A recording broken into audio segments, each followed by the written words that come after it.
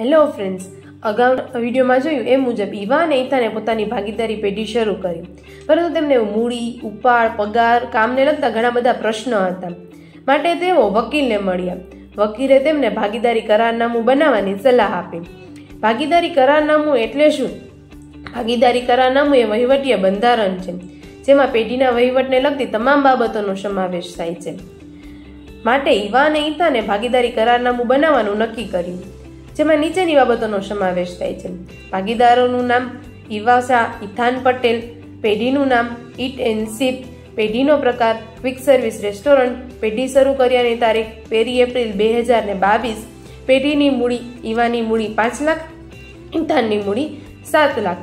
મૂડી પર વ્યાજ નક્કી કરેલ નથી, ઉપાડ નક્કી કરેલ નથી, ઉપાડ પર વ્યાજ નક્કી કરેલ નથી, નફા નુકસાનનું પ્રમાણ એક જેમ એક. ભાગીદારે પેઢીને આપેલી લોન પર વ્યાજ નક્કી કરેલ નથી. ભાગીદારને પગાર બોનસ કમિશન મહેનતાણું નક્કી કરેલ નથી. પાઘડી નક્કી કરેલ નથી. પ્રવેશ અને નિવૃત્તિ બંને ભાગીદારોની સહમતિથી વિસર્જન બંને ભાગીદારોની સહમતિથી આમ, ભાગીદારી કરારનામું બનાવવાથી ઈવા અને ઈથાનના બધા પ્રશ્નો દૂર થયા.